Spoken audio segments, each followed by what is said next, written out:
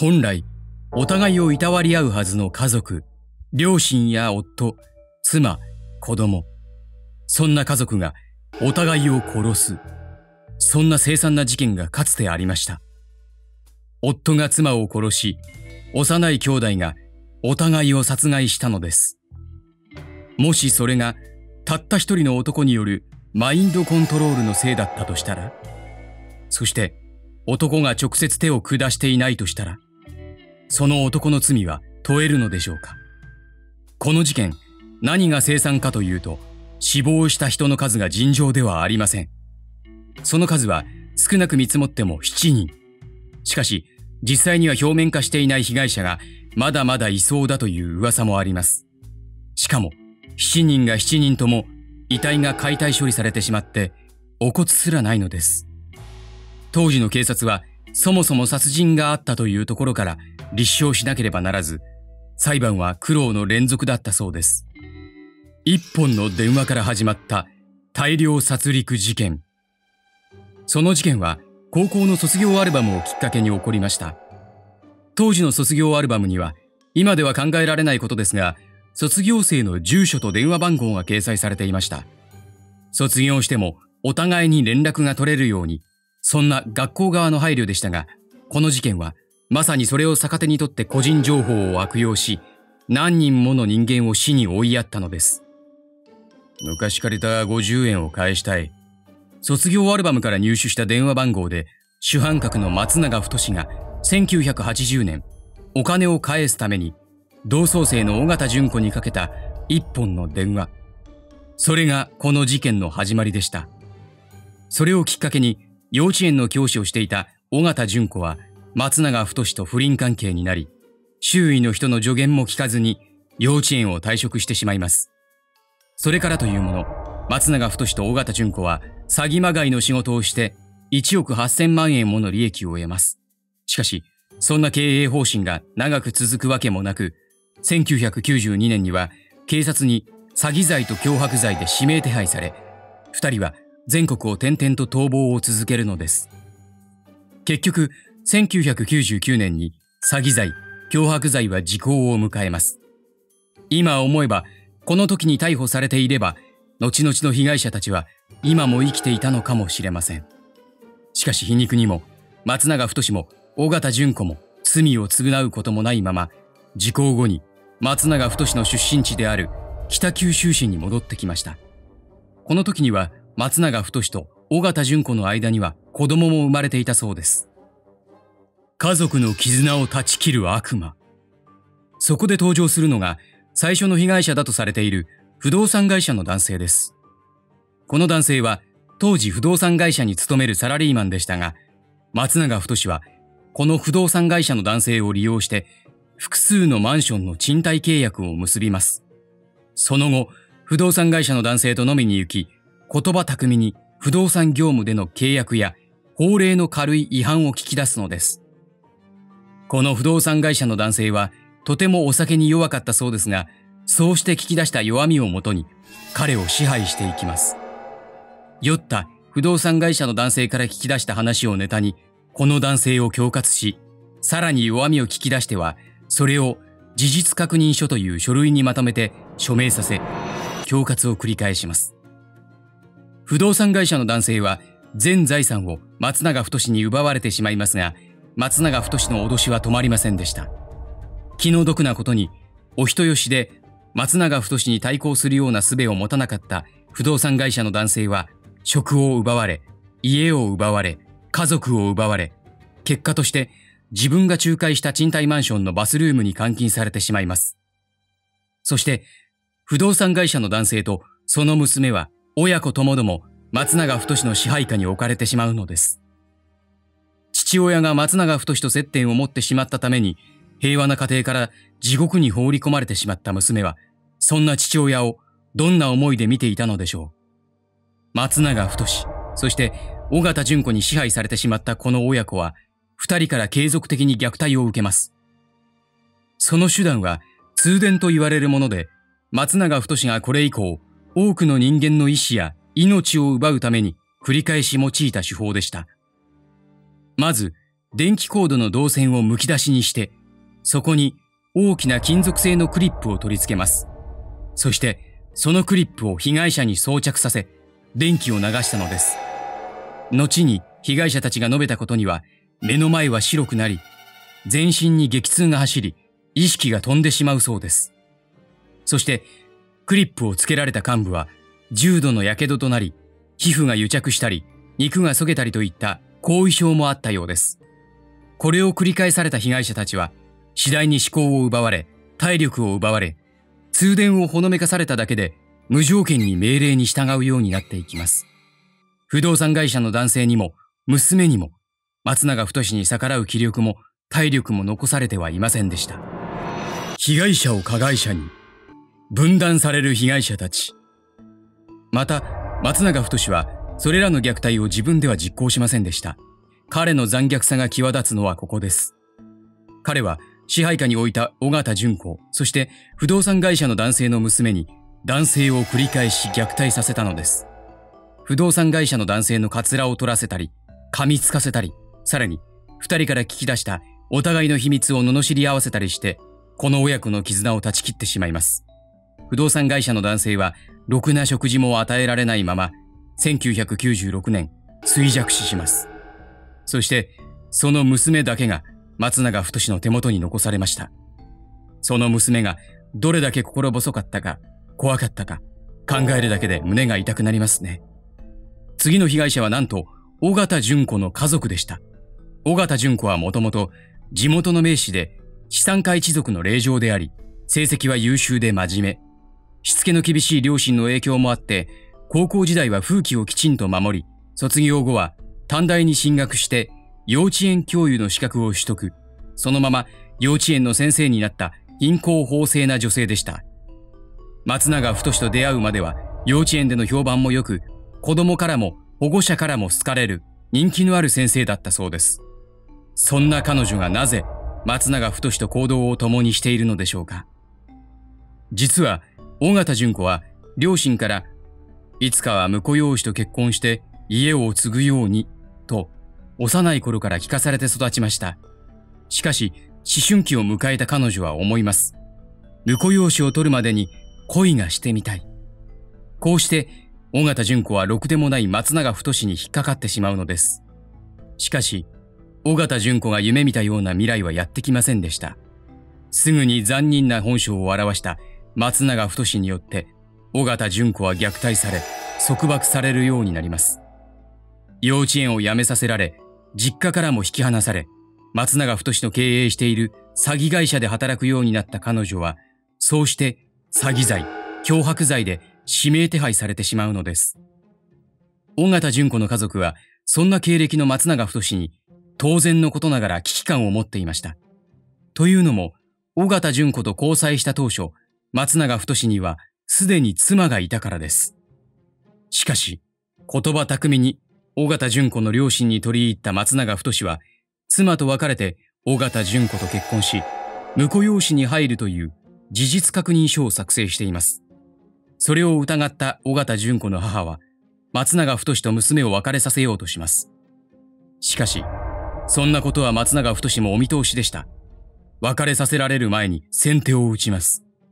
尾形純子の母は松永太に呼び出され、レイプされてしまうのです。資産家の妻で人一倍世間体と夫の目を気にする母親は、もう松永太には逆らえませんでした。さらに松永太は、尾形純子が不動産会社の男性を殺害したとほのめかし、尾形純子の父親を脅します。娘が殺人に手を染めるなど、代々名士であった尾形純子の父親には耐えられない事実でした。彼は娘自身に事実確認をすることなく、それを隠蔽する方向に動きます。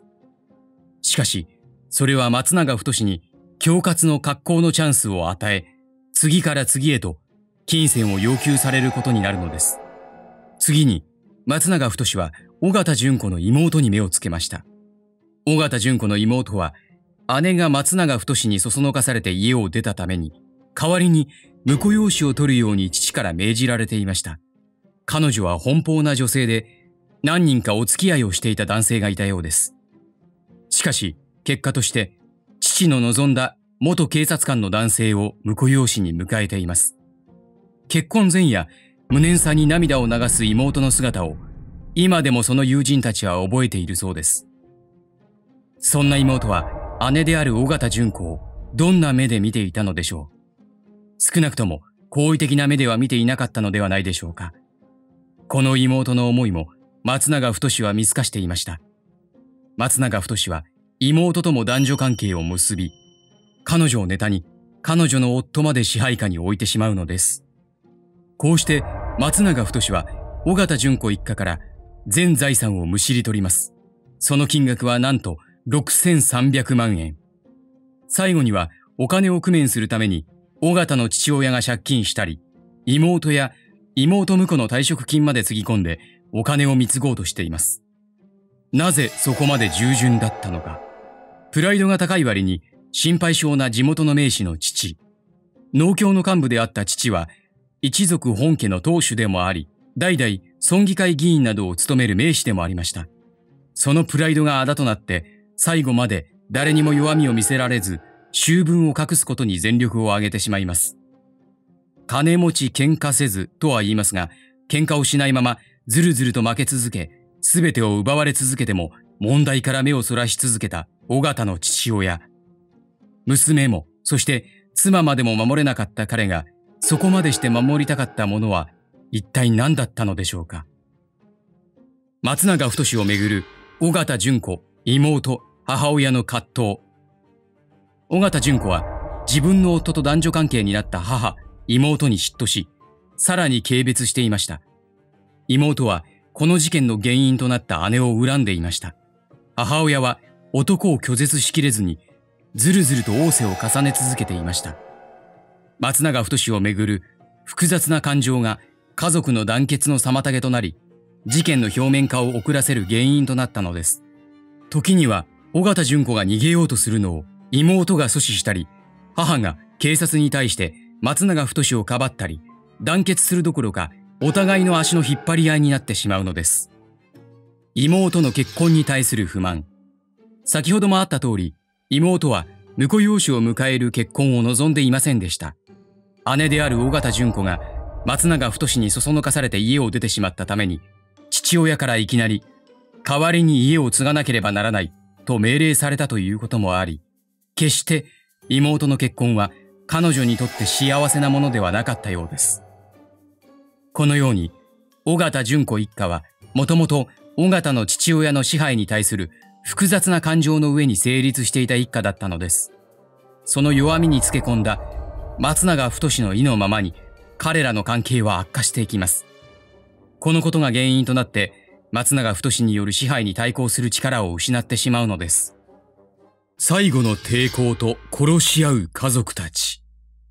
しかし、尾形の親族たちは黙っていませんでした。彼らは尾形の父親の様子がおかしいと気づくと直ちに一致団結し、当主である尾形の父親が先祖代々の土地を売却できないように法的措置を取ります。こうして一族の土地は無事に守られました。ですが、これが尾形の父親の命を奪う結果となってしまうのです。土地が売却できないと知った松永太は、尾形純子に命じて父親や母親に繰り返し通電をさせ、結果として父親は死亡します。そして、尾形の母親は繰り返される通電に心を病んでしまいます。規制を発するようになった彼女について、松永太は他の家族にこう言います。どうにかしろ。当然、家族たちが病院に連れて行こうとしますが、その提案を松永太はことごとく却下します。そして、言葉巧みに家族たちを追い詰めるのです。暴れたら殺すのは大変だろう。と、疲れ切った家族たちに殺人をほのめかせ、さらに、お前たちが殺人を望んだんだ。そうだな。と、殺人が家族たちの意思であるかのように何度も確認させたと言います。その言葉に追い詰められた尾形純子と妹は母の体を押さえ、そして妹婿は仕方なく義理の母を放殺したのでした。呆然とする家族たちに松永太はこう言います。殺人をしたんだから、これがバレたらお前たちは犯罪者だ。と。こうして哀れな家族たちは次々と家族を殺されながらも誰にも訴えられなかったのです。その頃には妹も度重なる通電によって変調をきたしていました。すると松永太は残された尾形純子と娘婿に妹の殺害をほのめかします。母親みたいになったらどうするんだ？と言われた時、残された家族たちは殺害しろという意味だと判断。さらに松永太は、俺は寝るから起きるまでに終わっておけ、と命令し、自分はどこかに眠りに行ったそうです。残された家族は追い詰められます。しかし、どちらにしてもいずれ妹は殺される。松永太が起きてくるまでに殺害できていなかったら、みんな通電される。どうせなら、早く殺そう。尾形純子のそんな言葉に、妹の夫は、それなら俺が、と自分が殺害すると名乗り出ます。果たして、妹の夫はどんな気持ちでそれを言ったのでしょうか。さらに、妹の夫は実の娘であるまだ10代の長女にこう言います。お母さんの足を押さえてくれ。最後のお別れをしよう。妹の夫が尾形の妹の首に手をかけたとき、彼女はこう言ったそうです。私、死ぬの？それに対して妹の夫は涙を流しながら、すまんな、と謝り、結果として考察してしまいます。自分の夫と娘に殺された尾形の妹、こんな残虐な殺害方法が他にあるでしょうか？殺害後、妹の夫は涙を流しながら、ついに自分の嫁さんまで殺してしまった。と呟いていたそうです。元警察官である彼は、今の自分の状況をどんな思いで見ていたのでしょうか？お見合いで婿養子として結婚した尾形の妹夫妻でしたが、きっと妻である尾形の妹を大切に思っていたのかもしれませんね。そして誰もいなくなった。そして最後に残された妹の夫自身はというと、監禁されたマンションの浴室で衰弱死しています。残されたのは妹夫妻の実子である長女と長男です。松永太は彼らが源頼朝、義経兄弟のように成長して仕返しに来ることを極端に恐れました。そうして弟の命乞いをする長女に弟の殺害を命じます。すでに母親を殺したからお前は犯罪者だ